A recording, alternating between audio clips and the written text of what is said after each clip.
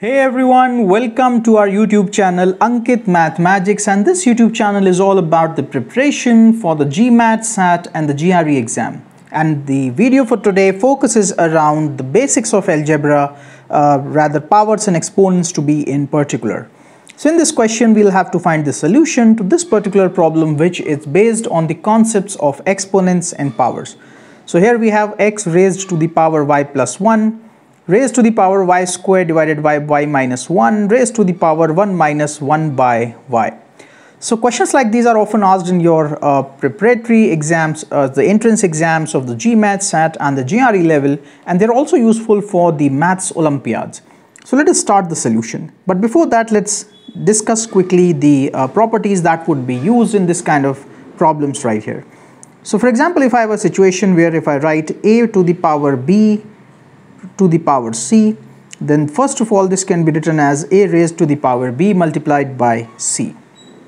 The second property that we might use is if a raised to the power b plus c is given then this exponential equation can be written as a to the power b multiplied by a to the power c. And same goes for if it is written as a raised to the power b minus c this can be written as a to the power b divided by a to the power c. So in this particular problem, we will be using the first property to be in particular because all the three powers are basically multiplied to each other. So just we'll just focus on the powers first. So in the inner bracket, we have y plus 1. Then in the outer bracket, we have y square divided by y minus 1.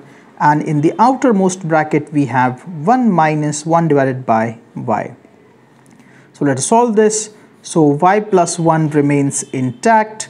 This part here can be taken as y square divided by y minus 1 multiplied by, when we take the LCM of this part right here, this would be y minus 1 divided by y. So as you can see, I've applied the property to kind of ease out the powers so that they can be cancelled out or calculated.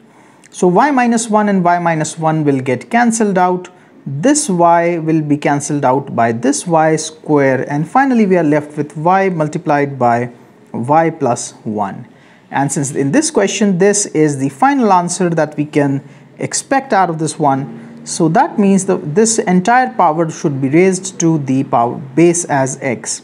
So I will raise this as x to the power y multiplied by y plus 1 so this my friend right here is the final answer to this particular problem I hope that this video was informative enough and for more such videos on GMAT, SAT and GRE preparation, don't forget to subscribe to our channel. Thank you so much for watching.